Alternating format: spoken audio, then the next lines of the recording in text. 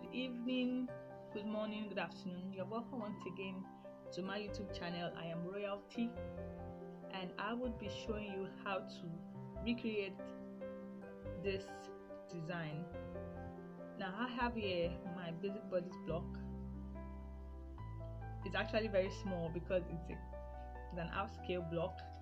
I made use of a half scale ruler like this and i'm using this block for illustration purpose now this is my bodice block here.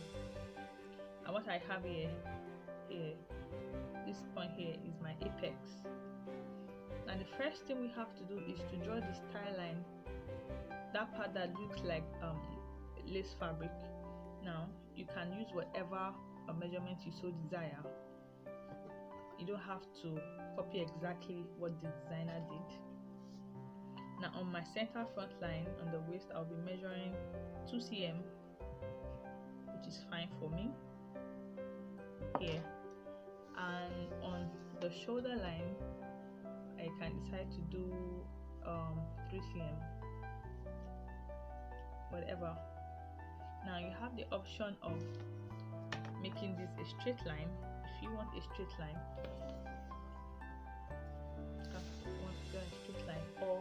if you want it to be a slight curve you can make use of your armor curve to connect whatever one you so desire.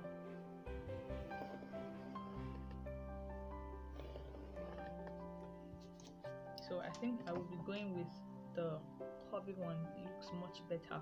And the next thing I will be doing is to redraw my waist dart and my shoulder dart to touch my apex because I'll be transferring the darts to other positions.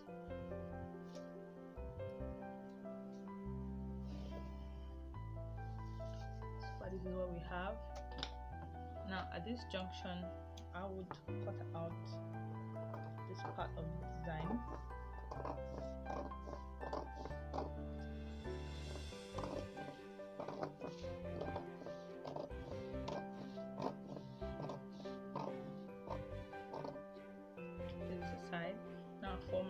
Dart just cut one part. Then for the shoulder that permits me to flip it over.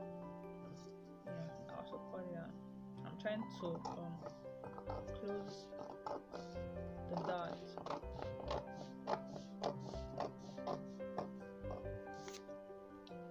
I have this you know then I can close this dart I just get my tape and I will take it down.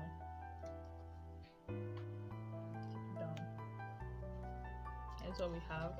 Now this is not necessary. This.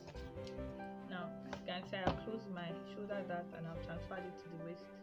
Now for this my waist dart I can choose to um, cut out the dart entirely whatever. As you so desire. Now looking at the style line, um, you have to transfer the whole of this dart into the center front.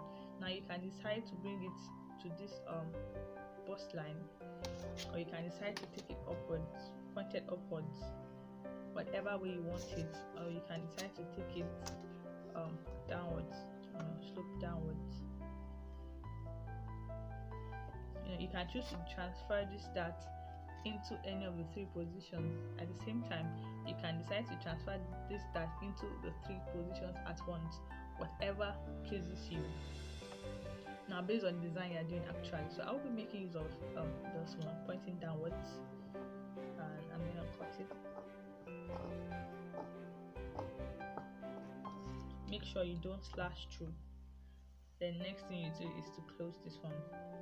Now just get a paper tape and i'll hold it down we're done. Now I have my basic bodice I have this part that looks like yoke. Here um, now remember when you are sewing your dart ensure that your dart stops about one inch before your apex. Now you can cut this on another fabric. You can cut this on another type of fabric. Remember to add all your sewing allowance. I hope this video is helpful. Thank you so much for watching. God bless you Bye.